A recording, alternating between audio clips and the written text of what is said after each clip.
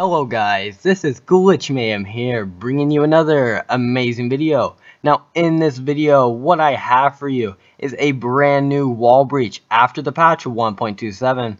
Now the founder of this glitch is my good friend Carson. His gamer tag will be in the description, so make sure to add him up. And guys, I'm sorry for about everything that's been going on lately. Basically, for right now, I'm going to upload videos with like pictures and everything on this account.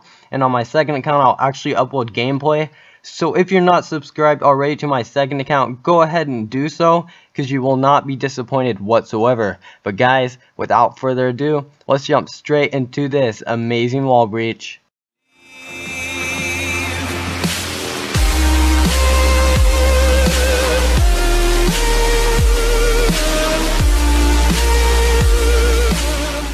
Now guys, to start it off, what you're going to want to do is come to this location on the map I'm providing you right now. It is actually at the very, very top of the map, and you just need to go over to the train track part of it. Now once you're over there, simply all you're going to want to do is make your way to this spot on the map right here. There should be a ladder and a pipe. The yellow pipe is really what you need to be by. And once you're by the yellow pipe, simply just walk up the ladder and then go straight to where my finger is pointing to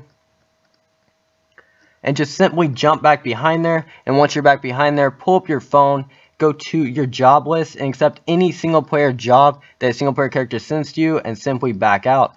Now guys I'm not going to show a picture of what it looks like inside the wall breach because I do want you guys to be surprised at how nice it is in there. You are able to shoot out of it in a certain spot. And yeah guys so I hope you enjoyed the video and I'll hopefully see you in my next one. Peace out